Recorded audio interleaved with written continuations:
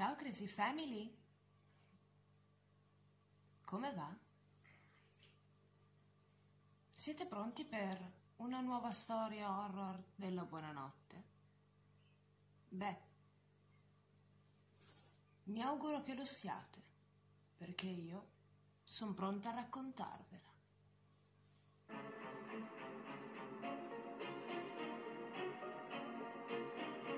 La casa senza fine era una casa infestata e teatro di molte sfide. La sfida prevedeva che chiunque partecipasse dovesse superare nove livelli, o meglio, nove stanze, senza uscire prima della fine. Superate tutte e nove le stanze, il partecipante avrebbe vinto il premio in palio, in denaro, ovvero 500 dollari. Un uomo decise di tentare di vincere questi 500 dollari perché il periodo per lui non era dei migliori e di quei soldi ne aveva veramente bisogno. Arriva sul posto, si iscrive e poco dopo arriva il suo turno. Quelli prima di lui avevano abbandonato la sfida Ora toccava a lui. Era il suo momento. Siete pronti? Si parte. Che la sfida abbia inizio. La porta numero uno si aprì davanti a lui. In quella stanza vide diverse ombre. Ombre di oggetti eh, l'unico problema era che la stanza era vuota. Non ci fece nessun problema e proseguì, andando nella seconda stanza. Quella era completamente buia e in assoluto silenzio. A terra, al centro del pavimento, c'era disegnata una croce. La raggiunse e vi si mise sopra. E all'improvviso iniziò a sentire un rumore. Boom boom. Boom boom. Era il suo cuore. Poteva sentire il battito del suo cuore risuonare in tutta la stanza la sensazione gli risultò strana, ma anche in un certo senso emozionante. Proseguì. Terza stanza.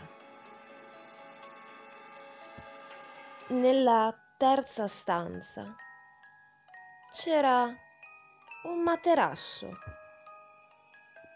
Nulla di strano, pensò andò, si avvicinò e vi si chinò sopra.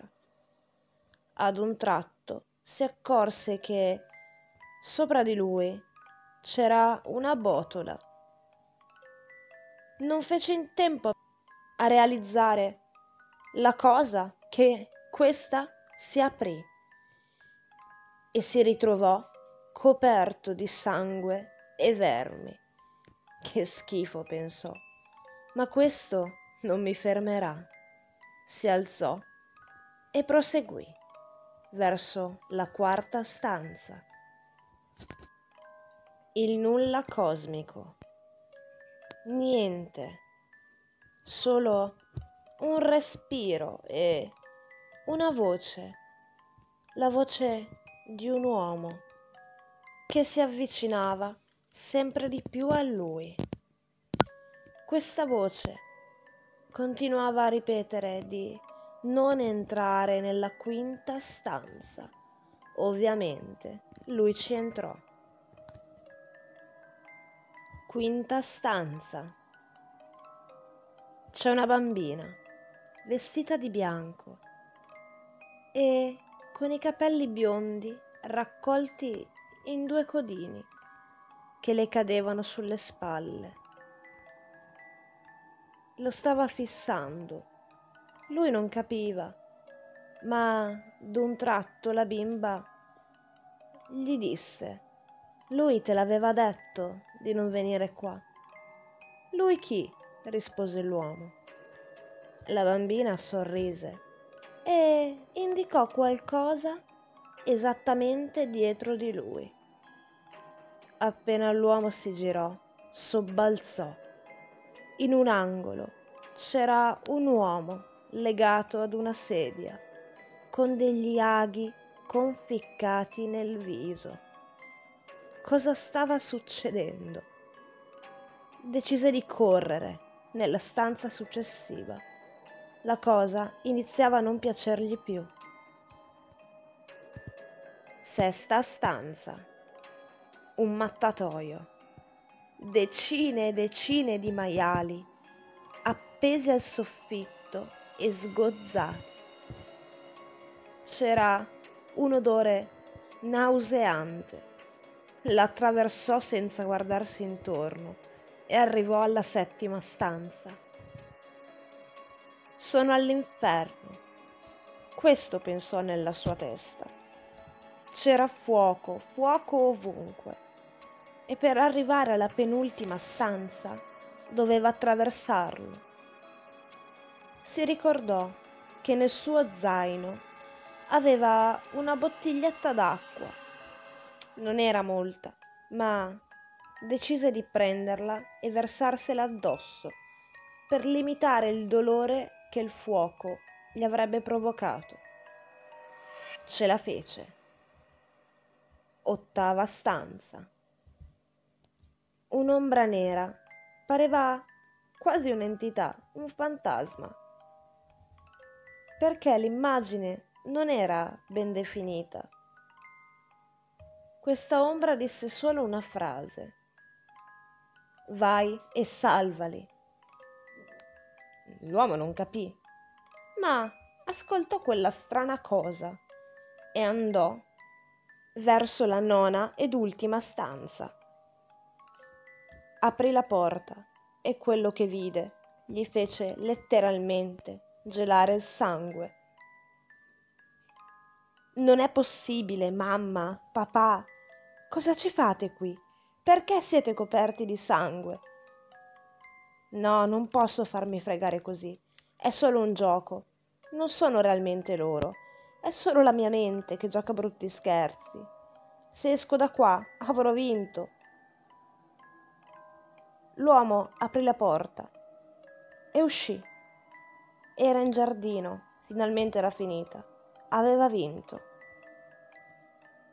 Prese i suoi soldi e fece per andare a casa quando un ragazzo gli disse Ehi, tu, lo sai vero che di quei soldi non ne avrai più bisogno? Lui non ci fece molto caso e si avviò verso casa. Non stava molto bene, era intontito, come se avesse bevuto, ed era senza forze Dopo quasi un'ora di strada, finalmente l'uomo arrivò, parcheggiò l'auto e si diresse a piedi verso l'entrata del suo appartamento. Inserì la chiave, sbloccò la serratura e quando fu il momento di entrare si accorse che sulla porta di casa sua era inciso il numero 10. In quel momento realizzò che da quel gioco non ne sarebbe mai uscito. livello numero 10. Riesci a uscire dal gioco? Ok ragazzi, eccoci qua. Che pensate di questa storia, di questa casa, di questa sfida, di questo gioco? Voi siete in grado di partecipare a una sfida del genere? Mm, io credo che io non ce la farei. No, non mi iscriverei nemmeno, ve lo dico sinceramente. Ditemi qua sotto nei commenti se questa storiella della buonanotte vi è piaciuta. E quindi, come sempre, io vi chiedo di lasciarmi un bel like se vi è piaciuto il video, altrimenti lasciatemi un dislike. A me non cambia la vita, perché lo faccio per far divertire voi e per divertirmi io. Hm? E soprattutto iscrivetevi al canale, perché tanti guardano il video ma non si iscrivono. Vabbè, piccolo particolare.